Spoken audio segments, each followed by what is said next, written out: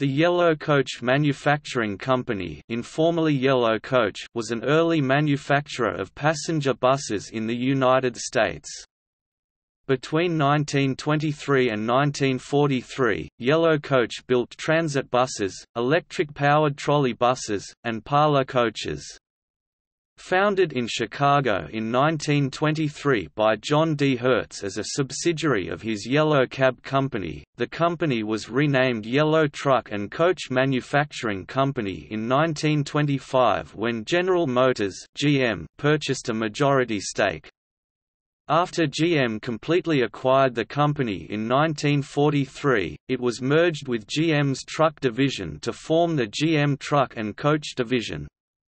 The car rental subsidiary known both as Hertz Drivurself Corp and Yellow Drive It Yourself was purchased back by John Hertz in 1953 through the Omnibus Corporation and floated the following year as the Hertz Corporation.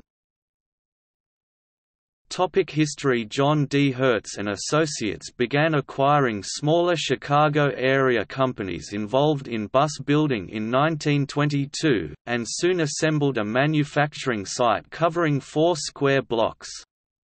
Yellow Coach Manufacturing Co. was formally established in 1923 as a subsidiary of Hertz's Yellow Cab Company, and sold 207 buses in its first year. George J. Rackham, whose career had commenced with the London General Omnibus Company after the First World War, spent the years 1922 to 1926 in the US, and recognized the advantage of low-swept chassis frame for bus development while employed by Yellow.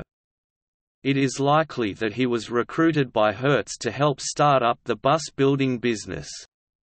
In 1926, he returned to England to join Leyland Motors as chief engineer and was responsible for the groundbreaking Titan and Tiger models. General Motors purchased a controlling stake in the company in 1925 and changed the name to the Yellow Truck and Coach Manufacturing Company, and relocated production to Pontiac West Assembly in Pontiac, Michigan.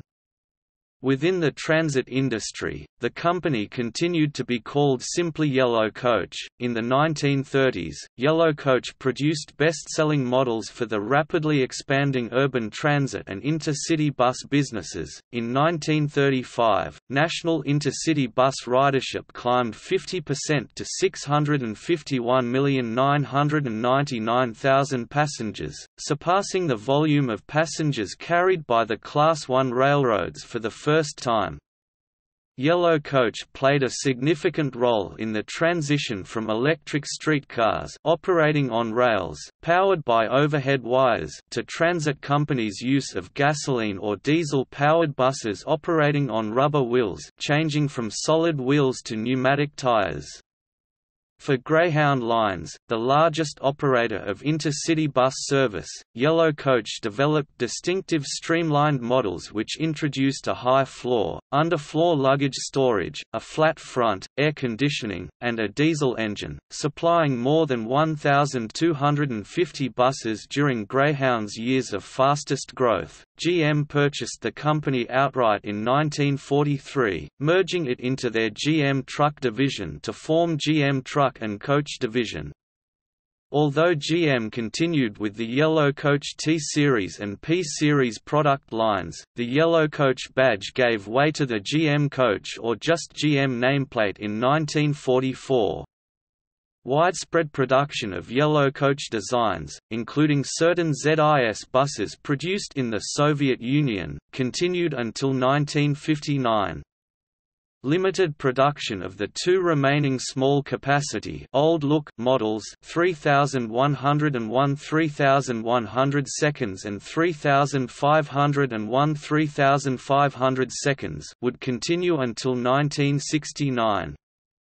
GMC badges did not appear until 1968.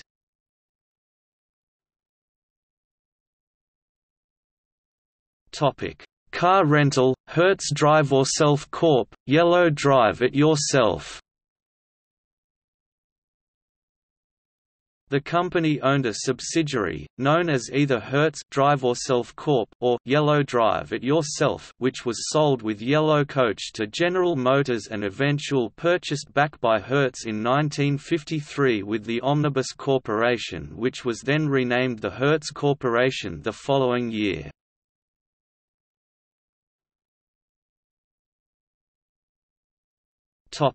Models produced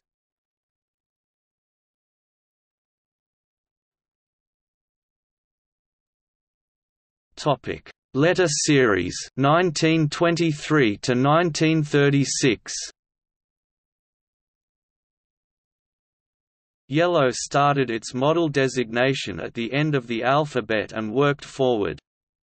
Initially four types were offered Z-type single-deck bus or coach Z-type double-deck bus Y-type coach X-type bus or coach, all were conventional front-engine design vehicles powered by Yellow Knight I four-sleeve valve gasoline engines, or a General Electric gas-electric hybrid unless noted otherwise.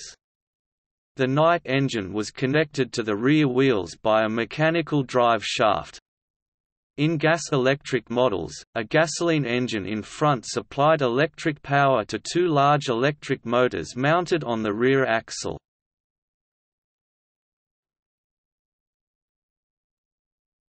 Topic 700 series 1931 to 1939 In 1931, Yellow Coach introduced its 700 series buses, featuring one of the first bus designs to mount the engine in the rear. Mounting the engine in the rear represented a significant innovation, reducing mechanical losses, noise, and weight of a long drive shaft and exhaust running between a front engine and the rear drive and tailpipe. Bus manufacturers in Germany and the United Kingdom would not perfect rear engine models until the 1950s. Customers did not always prefer rear engine designs, noting that front engines were easier to access, and placed engine noise and vibration away from passengers and sometimes outside the coach body. Eventually, the 700 series included both front and rear engined models. In 1934, Dwight Austin, patent holder on an innovative rear drive system was hired by Yellow Coach and soon developed new models in the 700 series with transverse engines and a V-angle drive.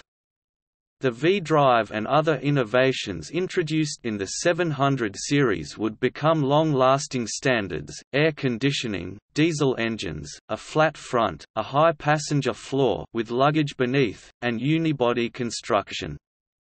The V-Drive would be GM's standard configuration until the 1980s.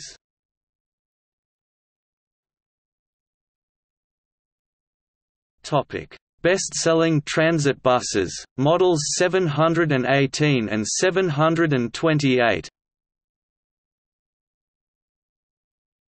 Notable 700 series versions include models 718 and 728 which were developed for use as urban transit.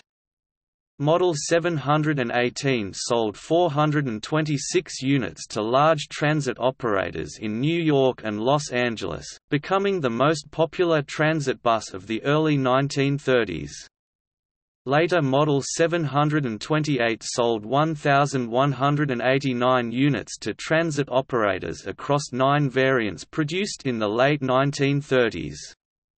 Both were exclusively rear-engined.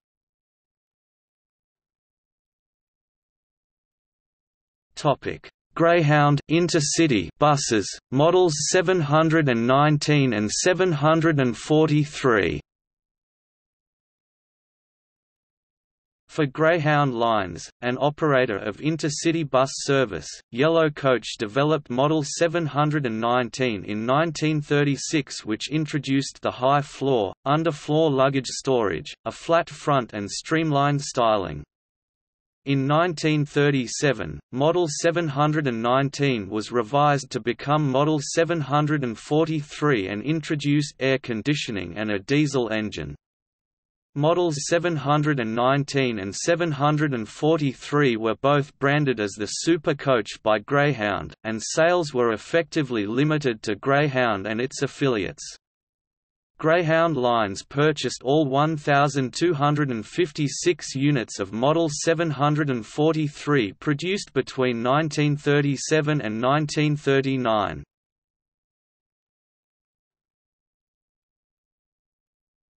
Topic 700 series production details All models are 96-inch (2.4 meters) wide single-deck buses, except as noted.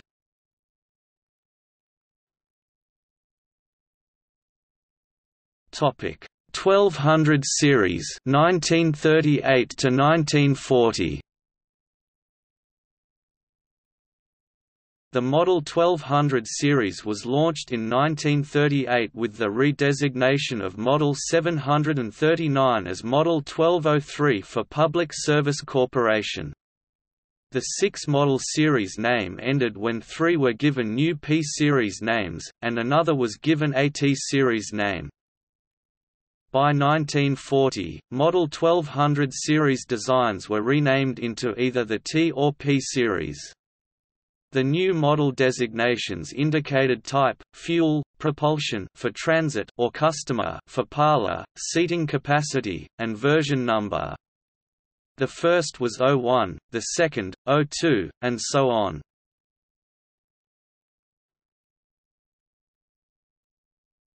Topic T series 1940 to 1942 All T series models were urban transit buses. The model designation consisted of two or three letters followed by four numbers. These gave a basic description of the type of bus.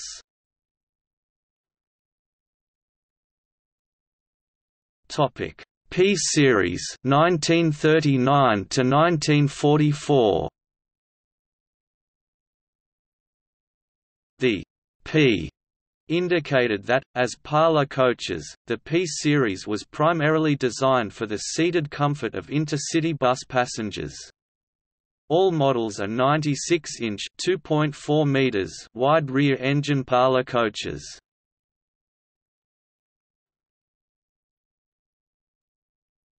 GM and GMC In 1944, General Motors completed its acquisition and merger of Yellow Coach. The T-Series and P-Series production and series numbering continued under the GM and GMC bus brands, along with other variants such as B-Series school buses and S-Series suburban buses. Yellow coach designs would continue to be widely produced until 1959, when GM introduced its new look models. The last yellow coach design ceased production in 1969. Topic see also GM Truck and Coach Division GM Old Look Transit Bus